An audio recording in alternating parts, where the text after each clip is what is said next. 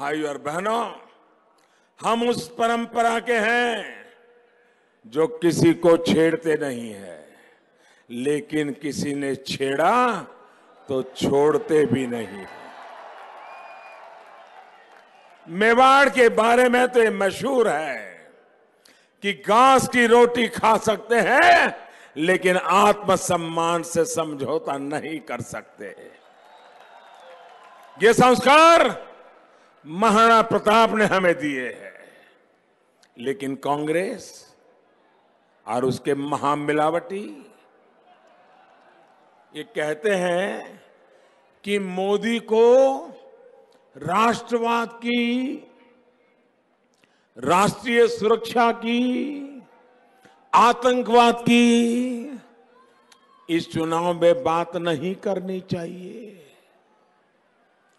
इनकी बातों में आ जाने वाला कोई और हो सकता है? मोदी नहीं।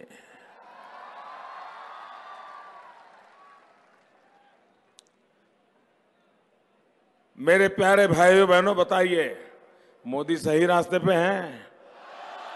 दिशा सही है? इरादे सही हैं? कोशिश शहीद है? सही सही है? पूरा विश्वास है आपको? आतंकवाद पर मोदी प्रहार कर रहा है। ठीक है ना?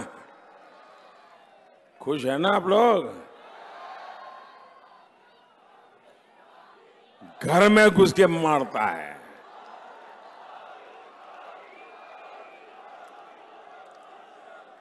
देश की रक्षा कैसे होगी?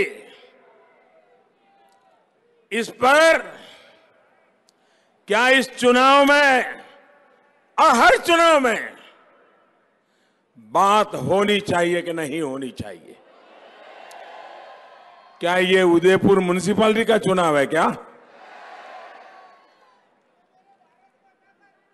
क्या ये विधानसभा का चुनाव है क्या?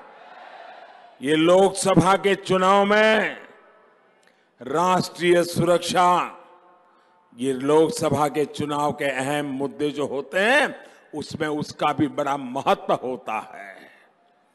उदयपुर के चुनाव में कोई राष्ट्र रक्षा की चर्चा ना करे, वो तो मैं समझता हूँ भाई।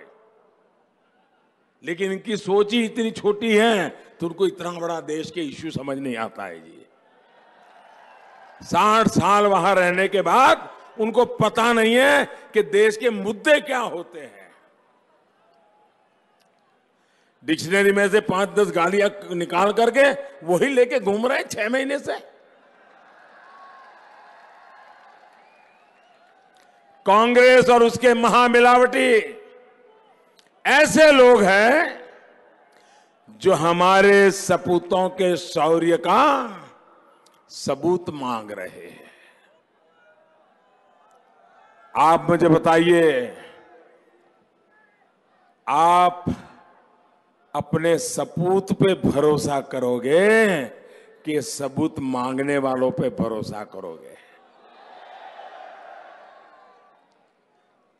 भाइयों बहनों, देश के सपूतों ने देश का माथा ऊँचा किया है। ये सबूत वाली गैंग ने देश को नीचा दिखने के लिए मजबूर कर दिया है। और जो सबूत मांगते थे ये मीडिया वालों ने भी देखा होगा, टीवी में भी कभी कभी नज़र आता होगा। दस दिन पहले जो टेप रिकॉर्डर उनका बचता था, जो एक कैसेट लगाई थी उन्होंने, वो बोलते रहते थे,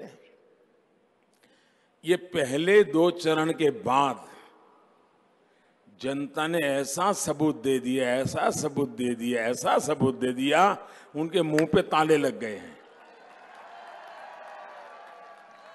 अब सबूत मांगना बंद कर दिया। एयर स्ट्राइक पे बोलना बंद कर दिया। और मैं उनको चुनौती देता हूँ। दम हो तो आइए। आप भी जनसभाओं में जाकर के सेना के पराक्रम की जो बात मैं करता हूँ, उसको चुनौती देकर के अपनी बात बताइए। खेल खिलाड़ी का और घोड़े अखबारों के जी